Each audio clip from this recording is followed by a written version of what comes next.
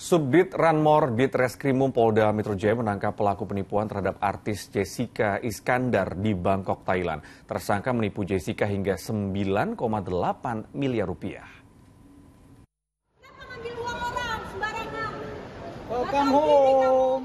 Mana uang saya? Balikin uang saya. Welcome Balikin. Artis Jessica Iskandar mencecar Christopher Stefanus Budianto yang telah menipu dirinya dengan kerugian hingga 9,8 miliar rupiah.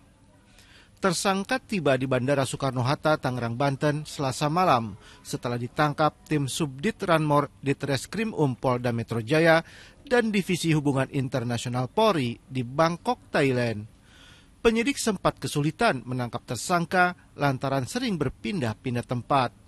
Selain Jessica Iskandar, diduga tersangka juga menipu sejumlah korban lainnya.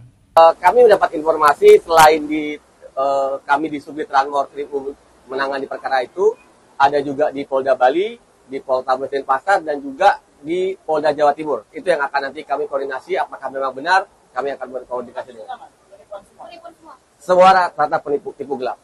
Dari hasil pemeriksaan sementara, tersangka mengaku menggunakan uang hasil kejahatannya untuk berbisnis di negara Thailand, Singapura, dan Malaysia. Saat ini tersangka telah dibawa dan ditahan di rutan Mapolda Metro Jaya.